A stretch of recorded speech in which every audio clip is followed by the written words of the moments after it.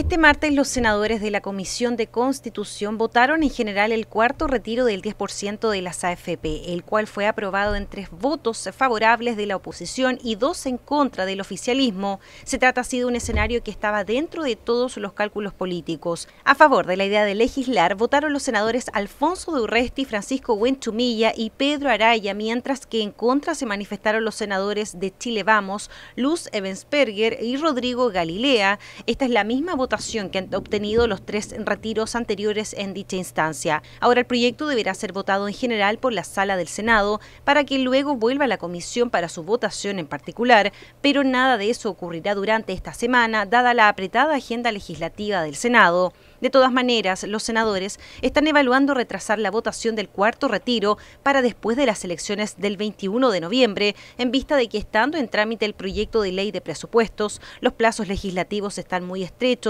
como para despacharlos antes de la fecha. Otro camino es tantear la posibilidad de generar un preacuerdo que permita reunir los 26 votos que se requieren para aprobar el texto que confiesan en la oposición hoy no están.